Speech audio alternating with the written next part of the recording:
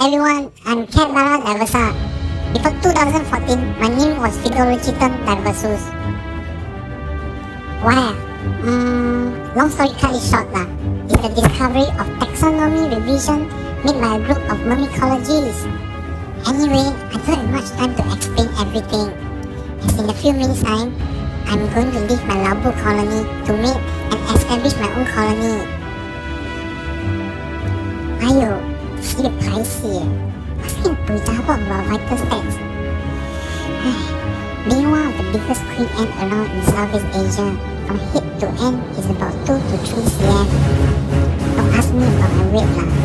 Every time when I step on the weighing machine, you turn so many rounds, but a stopwatch like that. And all I can see are these five letters, E-R-R-O-R. Error. I'm actually very excited to be a mother soon. I'll give birth to many children of different sizes. Mine are so small, like pizza. Then the major are so big, like 300 times bigger than small pizza. But please don't put my children in your nose.